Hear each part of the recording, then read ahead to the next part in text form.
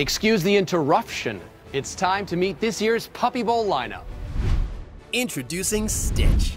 As a member of Team Ruff, this pup is an interesting mix of Treeing Walker Coonhound and American Staffordshire Terrier. Stitch comes from Vermont's Rutland County Humane Society and is not afraid of having a good time. I look forward to seeing what he's got in him.